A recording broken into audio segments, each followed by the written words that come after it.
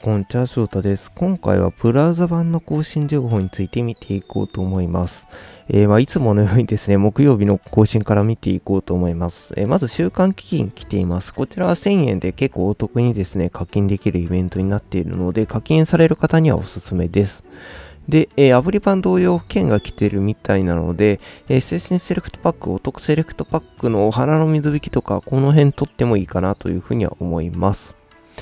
えーと、ログイン障害とかがあったみたいです。で、こっからが本日の内容で、まず映画銀月、絆の水引きがやってくるので、回るキャラクターが来そうな感じがします。えーと、まあそれぐらいですね。で、ラッキースターが、あ、一緒ですね。総称前田慶次。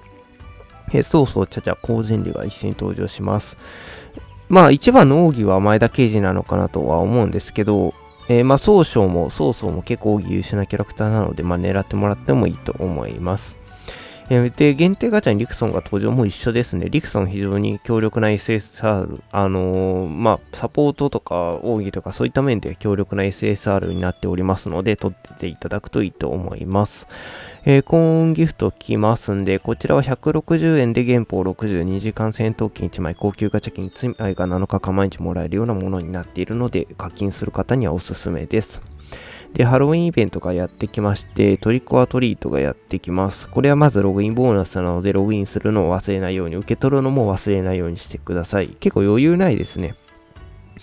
まあ、1週間以上はあるんですけど、まあ、何日かログインし忘れると、まあ、あまりそんな方もいないと思いますけど、なんか5日目が1日目になってますね。5時ですね。まあ、受け取るの忘れないようにしてください。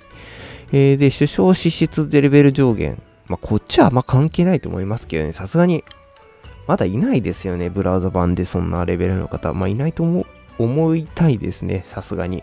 いたらちょっとびっくりしてますけど。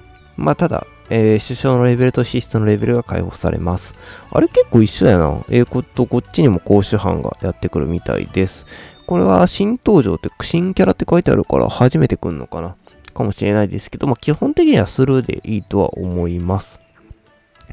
えっ、と、こっちには次回反響ってないんでしたっけ？まあ、ちょっと本日には特に書いてないですね。えー、っていう感じになります。あれ、トリックオアトリートもなんかしょぼいな。はい。なんかブラザー版はちょっとしょぼいです。ログインボーナスしか来ない。まあ、無課金には優しいと言えるのかもしれないですけど、まあ、そんな感じみたいです。まあ、これで終わりにしようと思います。これからも法事少女の動画を上げていくので、もしよければ Twitter のフォロー、高評価、チャンネル登録よろしくお願いいたします。